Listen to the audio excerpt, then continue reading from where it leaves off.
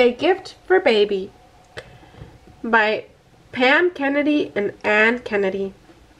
Little Tiger had a new baby sister. He picked a flower. Can I give baby the flower? he asked. No, said Mama. Babies can't have flowers. Can I give baby my toy truck? No, said Mama. Babies can't have trucks.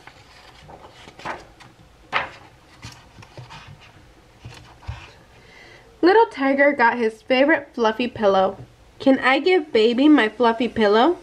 No, said Mama. Babies can't have fluffy pillows.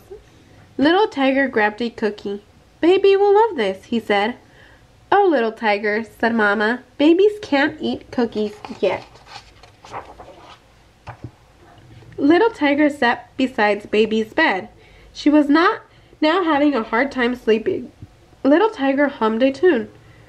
What, oh what can I give baby, he sang. Then baby stopped fuzzing. She stopped waving her arms and legs. She looked at Little Tiger and smiled. Baby loves your song, said Mama. That's what I'll give you, baby, said Little Tiger, and he made up a new song just for his baby sister. The end.